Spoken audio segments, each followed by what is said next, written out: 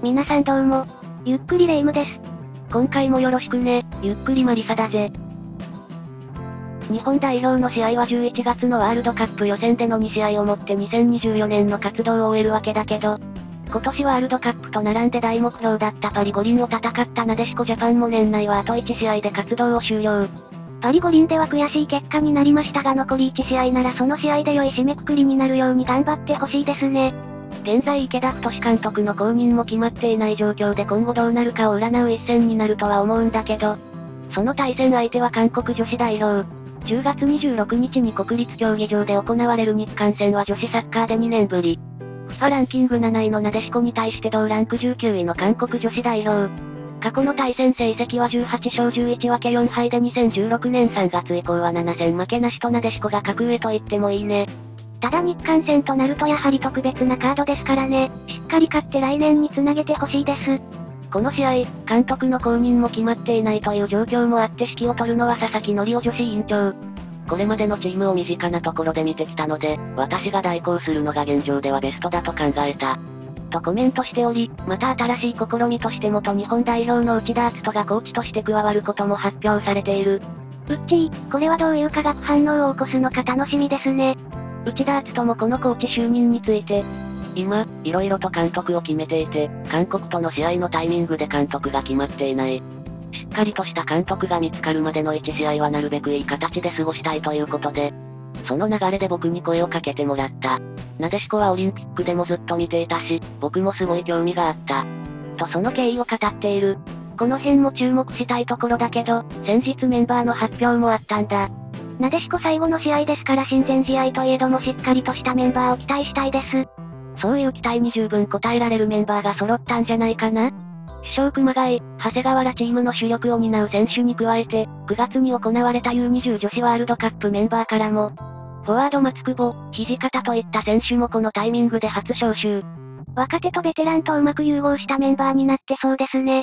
もちろんそれ以外にもディフェンダー南、北川、古賀、ミッドフィルダー長野、藤野、浜野、谷川、清家、フォワード田中美奈、植木などおなじみの面々も、U20 でしっかりと頭角を現した選手は、今後のなでしこジャパンで重要な選手に成長してほしいというのもありますし、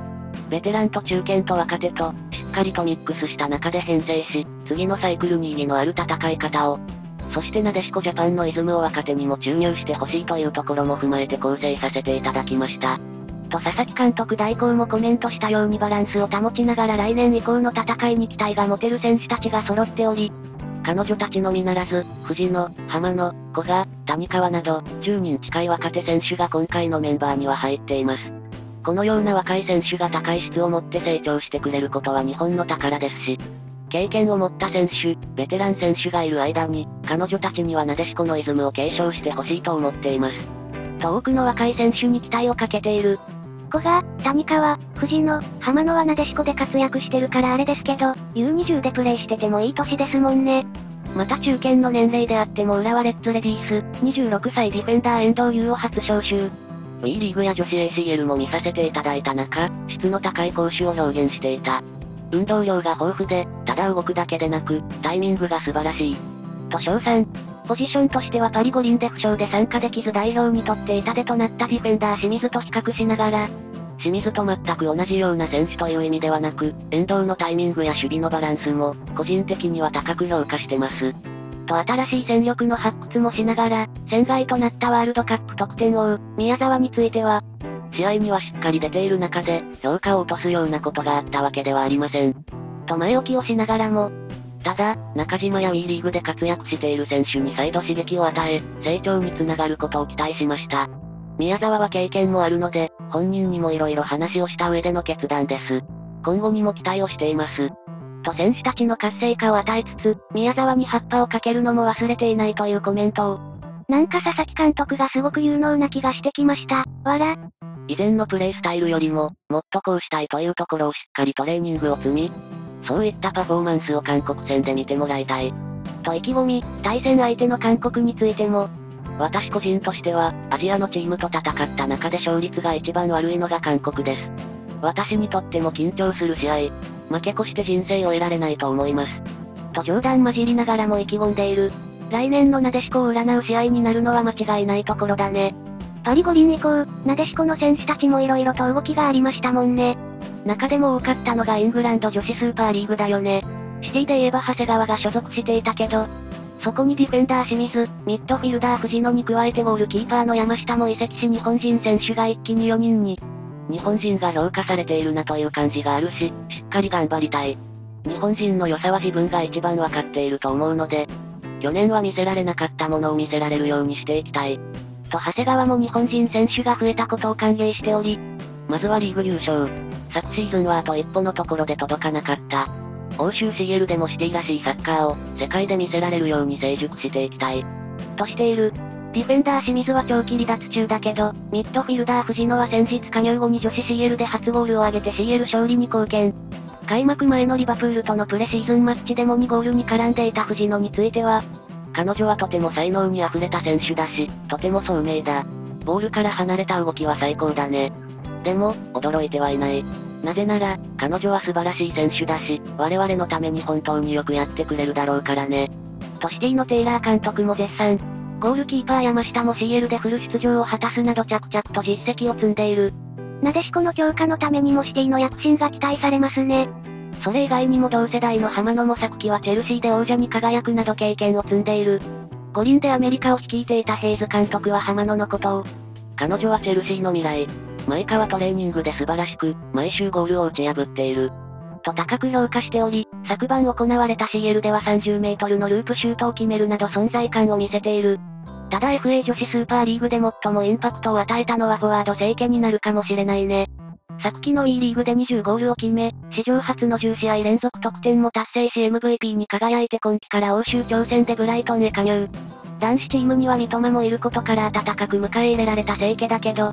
開幕節のエバートン戦に先発出場すると29分に移籍後初ゴール、56分、75分にもゴールを挙げてハットトリックを達成。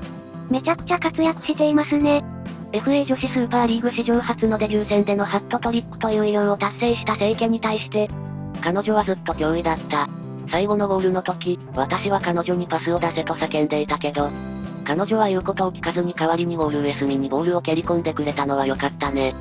とブライトンのビドシッチ監督はゴールに貪欲な姿勢を評価し、彼女は加入して以来、ずっと素晴らしいプレーをしていて、一生懸命努力した成果が出た。これからももっとそういうプレーが続くことを願っている。と期待をかけられている。女子スーパーリーグではそれ以外にもユナイテッドに宮沢ひなた、リバプールに長野、ウ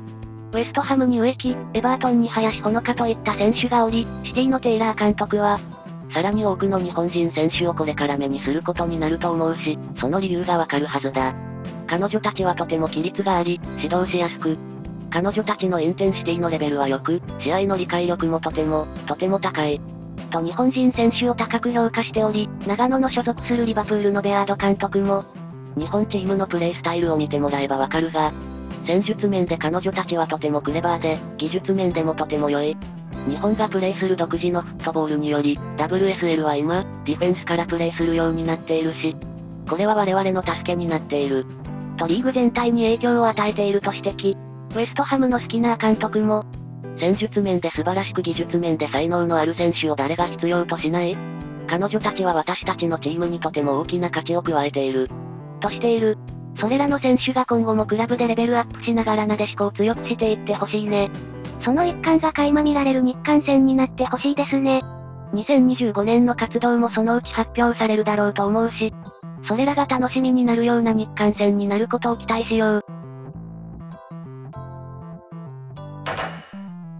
もしよかったらチャンネル登録よろしくお願いします。コメントやいいね、励みになるぜ。